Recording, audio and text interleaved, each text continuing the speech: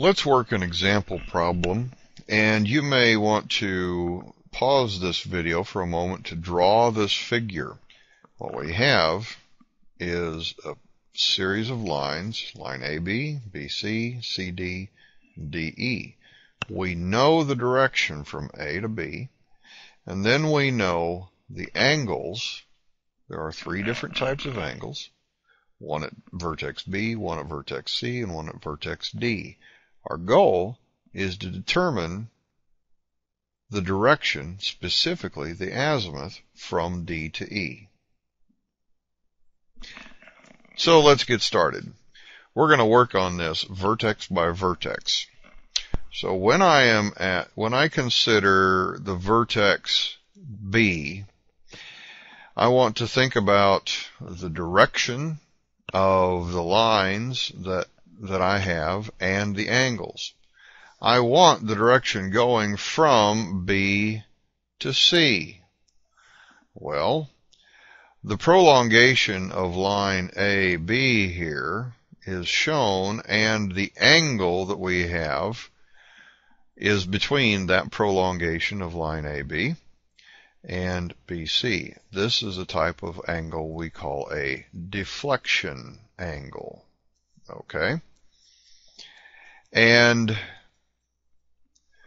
in this case, I have both hands of my clock pointing away from the center of the clock. But if I am trying to go from line AB down to BC, that would be an operation going in the counterclockwise direction. So I'm going to subtract, aren't I? So in this case, I'll take 245 degrees 11 minutes, 8 seconds, minus 73 degrees, 51 minutes, and 39 seconds. And that will give me, for line BC, it's going to give me a direction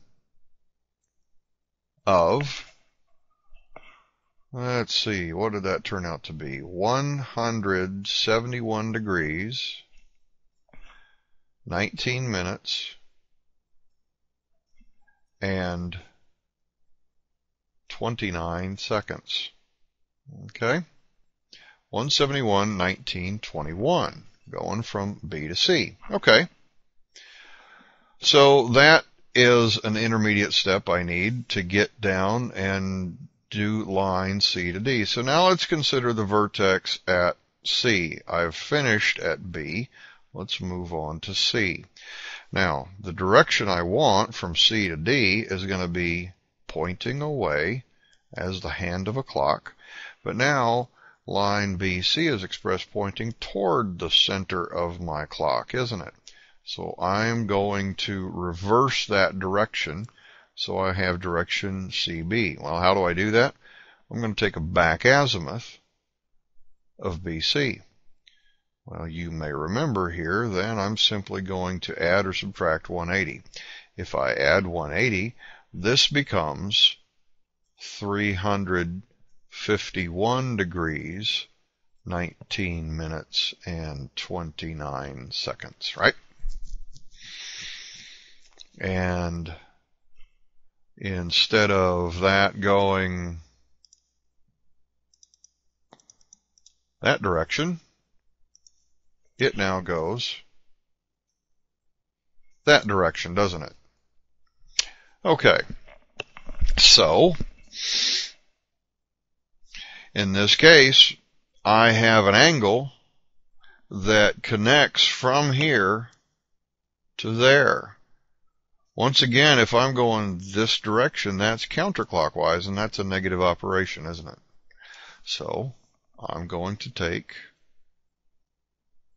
351 degrees, 19 minutes, 29 seconds, and I'm going to subtract 282 degrees, 40 minutes, and 06 seconds and that will give me the direction C to D, won't it? that will give me that direction there. So that works out to be sixty-eight degrees, thirty-nine minutes, and twenty-one seconds. Okay. Does that seem to make sense? It's heading off in the northeasterly direction, isn't it, from C to D? And 68, 39, 21 is greater than 0 and less than 90. So that would fit within the northeast quadrant. Okay, I only need to do one more step in order to get the direction from D to E. So, I'm going to consider I'm sitting at the vertex D, and I need a direction going from D to E. However, the direction C to D, instead of being like a clock hand that points away, it points toward the center of the clock. So I need to reverse that direction. Right now, it's expressed going that direction right there. And I really didn't intend to erase that line, but you saw me do it. That line goes like this, doesn't it? Okay. So I want to change that direction and I'm going to add 180 and that becomes what? 248 degrees. And that is now expressed going in that direction. Okay?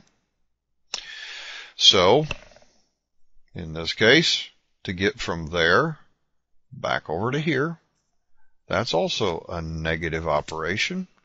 So I'm simply going to take 248 degrees, 39 minutes, and 21 seconds, and I'm going to subtract, in this case, my 85 degrees, 07 minutes, and 20 seconds, and that works out to be 163